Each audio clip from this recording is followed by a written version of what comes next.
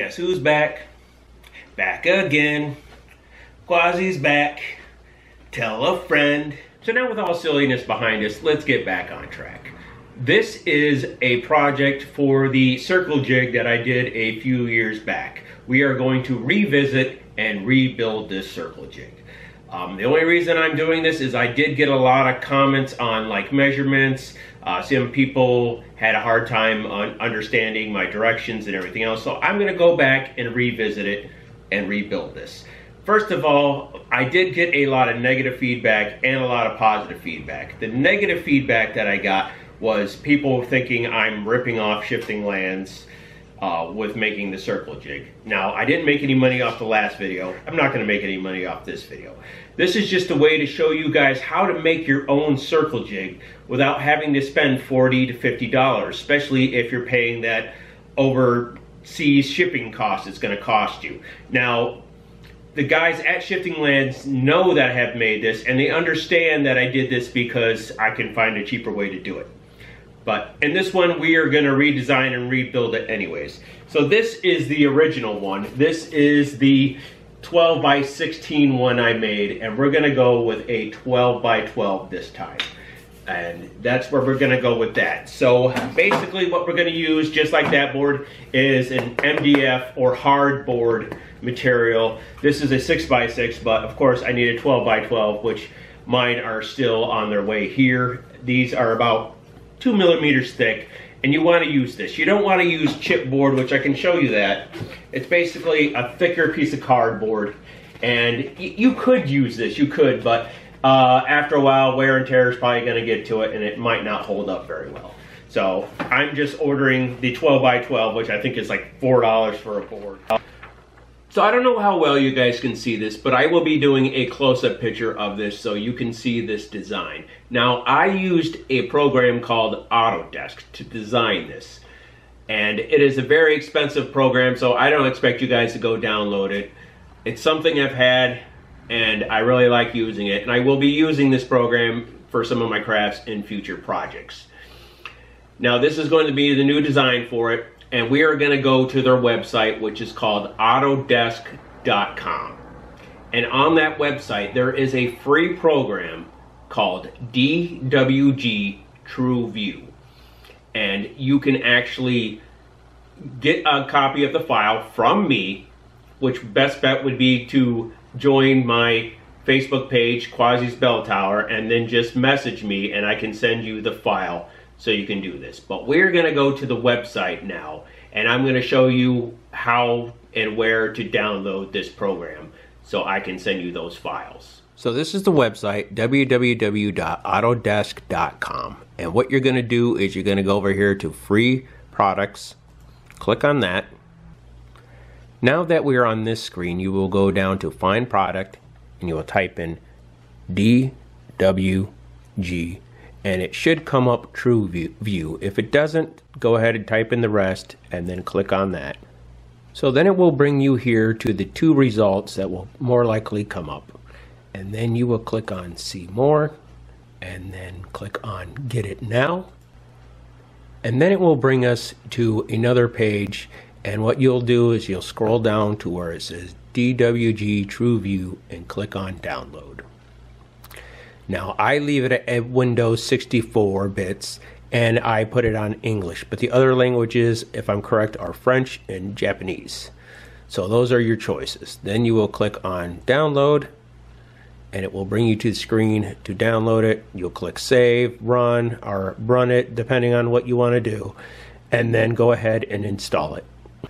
Once you have downloaded and opened the program, you'll have here where it'll be like open files. Now I already have some recent stuff I've been working on. Uh, ship design, which would be a future project.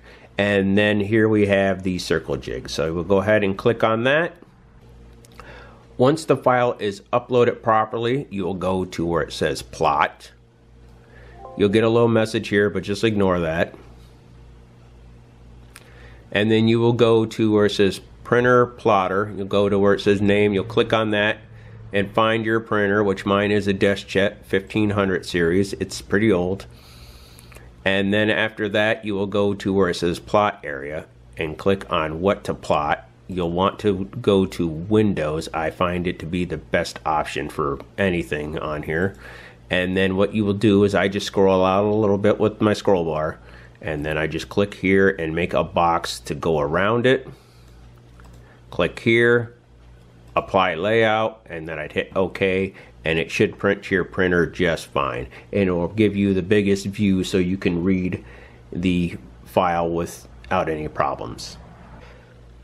Once you are printed, it should look like this. Now I do have the standard and metric measurements on this. I hope it's easy for you to understand. If you guys have any questions, you can message me on Facebook at Quassi's Bell Tower and I will help you with the best I can.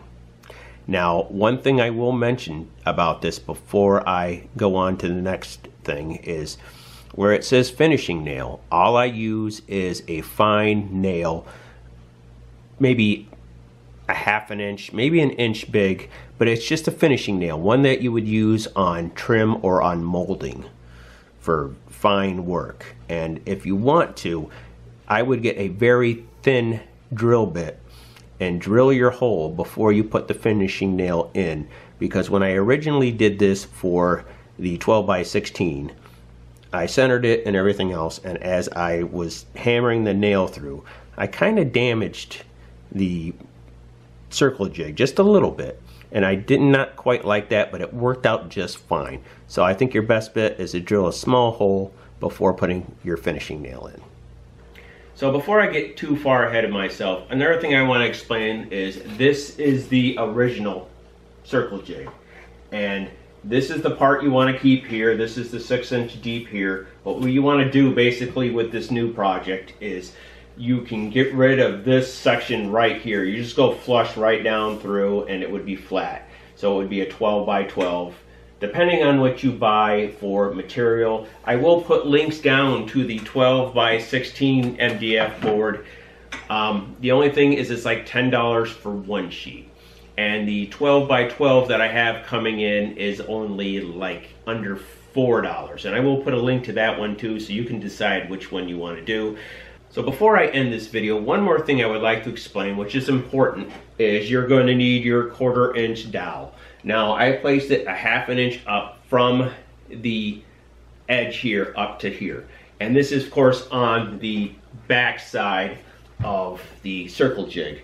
Now it's a quarter inch. I can't remember. I might have sanded this down so it would fit in the Proxxon cutter uh, smoothly where it was tight enough but not too tight. So before you put this onto the board. Make sure you test it in your Proxxon and make sure it will fit and it slides smoothly and you're happy with it before you go and glue this, super glue this onto this. Okay, so don't get too carried away. I mean, the first time I made this, I'll show you guys, nobody's perfect. You know, us crafters ain't always perfect. First time I did it, I actually put it on the top side here. You can see the glue damage and where I drew the line, which I should have done it on this side, but Sometimes I get ahead of myself and I make a lot of mistakes, but nobody's perfect.